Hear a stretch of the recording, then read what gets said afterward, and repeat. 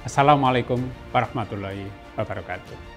Saya Suprawoto, Bupati Magetan, salah satu alumni Universitas Erlangga, sangat bangga dan mengapresiasi atas peningkatan ranking dunia dari Universitas Erlangga dari ranking 651 menjadi 521. Ini tentu prestasi yang sangat membanggakan saya sebagai alumni. Dan kami berharap satu saat ke depan Universitas Erlangga terus meningkatkan ranking dunia sehingga ikut mengharumkan nama bangsa ini di kancah pendidikan tinggi di dunia. Terima kasih. Sekali lagi selamat. Wassalamualaikum warahmatullahi wabarakatuh.